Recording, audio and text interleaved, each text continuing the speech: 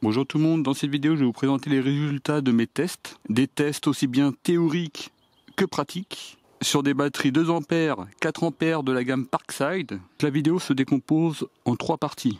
Une première partie chargement, j'ai chargé les batteries de 2 A avec le chargeur normal et le chargeur très rapide, également la batterie de 4 A. Dans le deuxième test, j'ai déchargé ces mêmes batteries en chargeant des appareils mobiles comme des téléphones portables. Et dans mon troisième test, j'ai vissé cette vis de 24 cm en utilisant la visseuse à choc de Parkside avec la batterie de 2 A, mais également la batterie de 4 A. Dans ce dernier test, j'ai également rajouté la visseuse à choc de TechPo, voir comment elle se comporte. Donc dans cette première partie, j'ai chargé des batteries de 2 A avec le chargeur d'origine pour batterie de 2 A avec une sortie de 2,4 A. Mais j'ai également chargé ces batteries de 2 A avec le chargeur très rapide qui est normalement vendu avec les batteries de 4 A et qui a une sortie de 3,5 A. Donc là, comme vous pouvez le voir, il y a deux batteries de 2 A parce que finalement, j'ai commencé par tester une première batterie de 2 A. Celle-ci, je l'avais achetée en octobre 2018 avec la visseuse à choc. Et finalement, je me suis rendu compte dans mes petits tests que celle-ci n'a pas la réelle capacité d'une batterie normale. En effet, cette batterie fonctionne parfaitement. Une fois chargée, elle indique vert, sauf que le temps de charge est anormal, ainsi que la tension chargée est également anormale. Normalement, cette batterie-là se charge en 60 minutes, mais lors de mon test, le chargeur l'a chargée en 41 minutes. Là déjà, c'était un signe qu'il y avait un petit souci. Une fois chargé, j'ai pris la aux bornes négatives et positives. Et là également, la tension était anormalement basse, à 20,1 volts. J'ai donc dû recommencer mon test avec cette deuxième batterie. Le chargeur l'a chargé normalement en 61 minutes. Ensuite, je l'ai chargé avec le chargeur très rapide, chose que je vous déconseille. Mais à mon étonnement, le chargeur très rapide ne l'a pas chargé beaucoup plus rapidement. En effet, la batterie limite sa consommation. Finalement, le chargeur rapide l'aura chargé en 55 minutes. La batterie est totalement déchargée. C'est le chargeur avec une sortie de 2,4 A. Au début de la charge, on se situe aux alentours de 49 watts. J'ai eu un temps de charge de 40 minutes. D'ailleurs, 40 minutes, c'est étrange parce que normalement, c'est 60 minutes. Donc là, je vais mettre la batterie de 2 Ah sur le chargeur de 3,5 A. Donc, à mon avis, il y a une sécurité quelque part, soit au niveau de la batterie ou soit au niveau de la chargeur, qui limiterait la puissance de charge. Vous voyez, là, c'est bien 85 watts, 3,5 A, et on monte pas au-delà de 52 watts. Ensuite, j'ai chargé la batterie de 4 A avec le chargeur normal de 2,4 A. La charge aura duré 2 heures et 8 minutes. Avec son chargeur très rapide, la charge aura duré 1 heure et 24 minutes. Là par contre, on voit la différence entre le chargeur très rapide et le chargeur normal. Alors déjà, ce qui nous ressort de ce premier test, c'est déjà qu'on peut se rendre compte qu'une batterie n'est pas normale si par exemple son temps de charge n'est pas de 60 minutes environ. Deuxième indicateur étant la tension chargée de la batterie qui était à 20,1 volts, ce qui est quand même assez bas pour une batterie X20 volt team.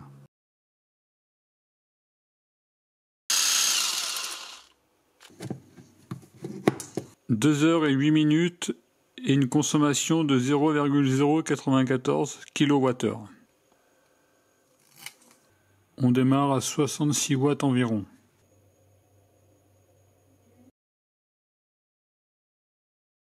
La batterie de 2 A et la batterie de 4 A. Mais en tout cas, ça se ressemble beaucoup. Simplement, il y a un petit élément en plus à ce niveau-là.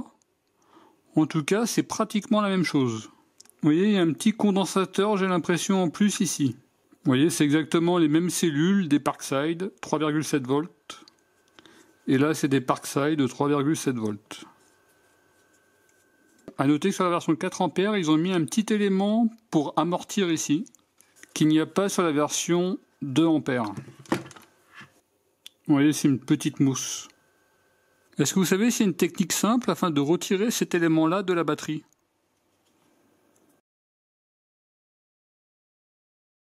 Sur le deuxième test, j'ai testé la capacité de restitution en milliampères-heure des batteries 2 A et 4 A. Pour cela, j'ai utilisé l'adaptateur USB pour batterie X120 Volt Team que j'ai mis sur la batterie. Si ce produit vous intéresse, vous avez le lien en description de la vidéo. Ensuite, j'ai rajouté un petit testeur USB que j'ai mis à ce niveau-là.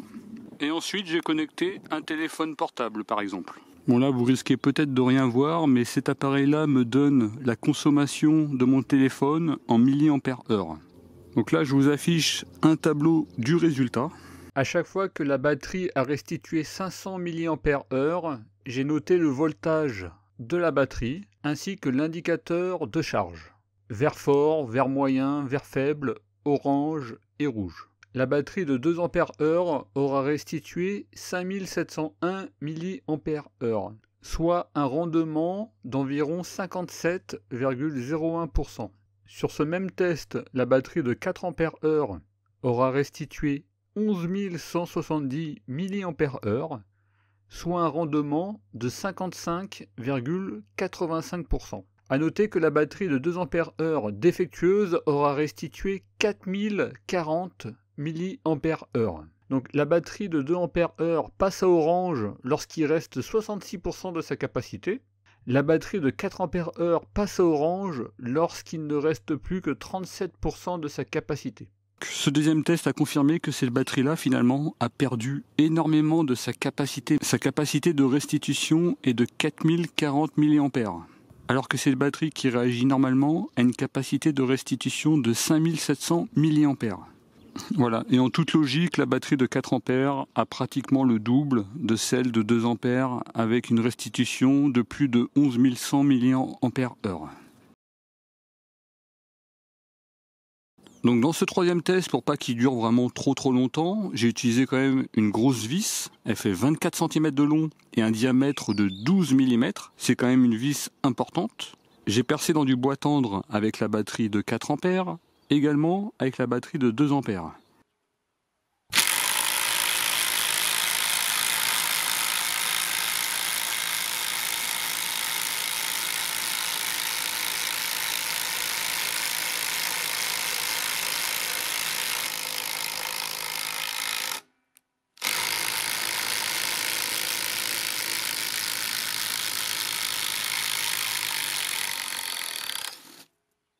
Également, j'ai trouvé intéressant de rajouter la TechPo dans ce test de vissage.